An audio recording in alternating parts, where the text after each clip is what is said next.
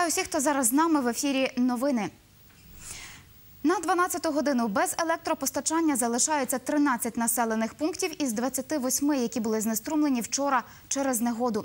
Електропостачання ще не відновили у Бережанському, Монастириському та Борщівському районах. Телефоном зазначила Наталя Лисак, прес-секретар Обленерго. На 12 годину е, без електропостачання 13 населених пунктів, 43 трансформаторні підстанції. Основні причини вимкнення це е, паді... води через наслідок падіння дерев е, через посилення е, вітру. В основному Бережанський район. Там е, Монастирський, Борщівський, вони вже е, практично закінчують ремонти, то вони вже включаться. Обіцяють до другої години відновити повністю електропостачання. Наша знімальна група зараз у Бережанах.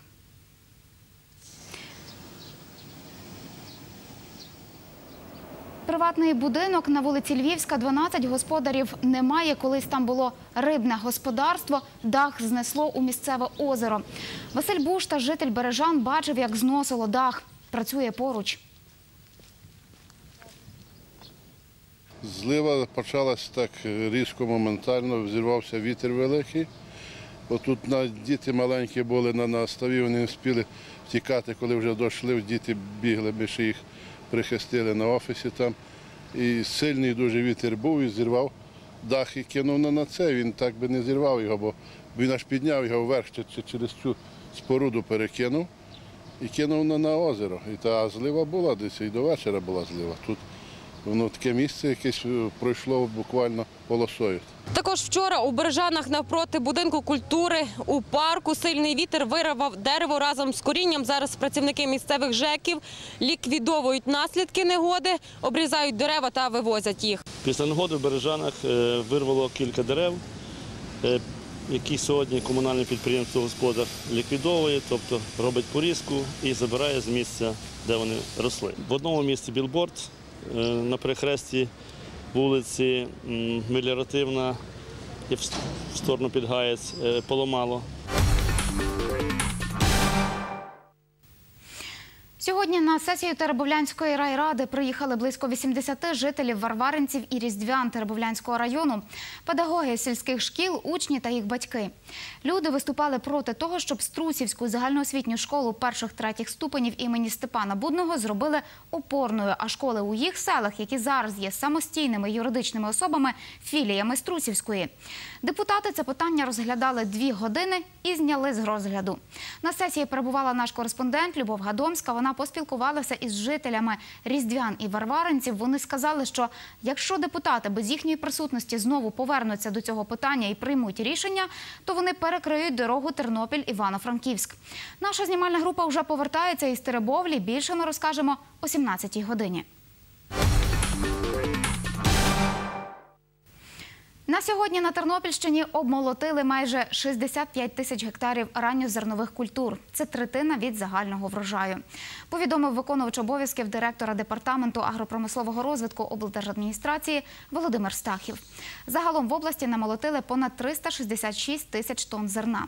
Урожайність цього року майже 57 центнерів із гектара, в тому числі пшениці майже 49 тисяч.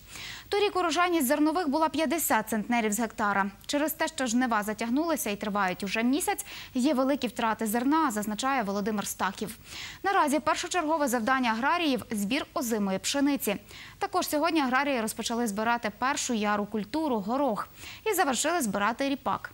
Намолотили понад 185 тисяч тонн ріпаку. Торік у відповідний період намолотили 102 тисячі тонн. Урожайність ріпаку майже 29 центнерів з гектара. Це на 3 центнера більше, ніж торік.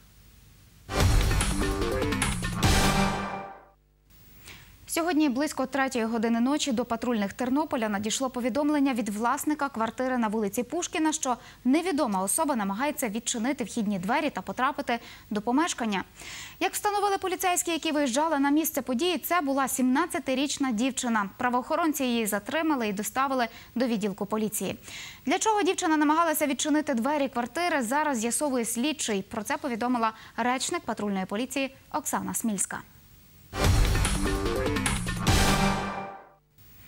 Керівники футбольного клубу Нива Тернопіль прийняли рішення достроково припинити дію чинних контрактів із двома гравцями.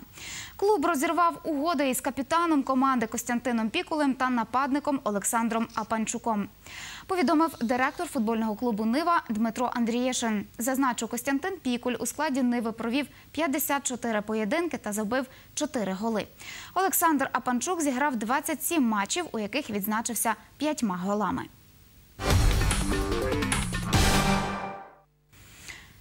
Сьогодні протягом дня на Тернопільщині синоптики прогнозують мінливу хмарність без істотних опадів. Вдень місцями короткочасні дощі і грози. Вітер північно-східний 7-12 метрів за секунду. Температура повітря коливатиметься від 26 до 31 градуса тепла. І завтра очікують в області грози, дощі і місцями град. Про це повідомила синоптик обласного гідрометеоцентру Оксана Озимків. І на цьому у мене все. Я бажаю вам вдалого продовження дня, головне мирного і сонячного неба. І залишайтеся разом з нами, щоб знати найважливіше. До зустрічі.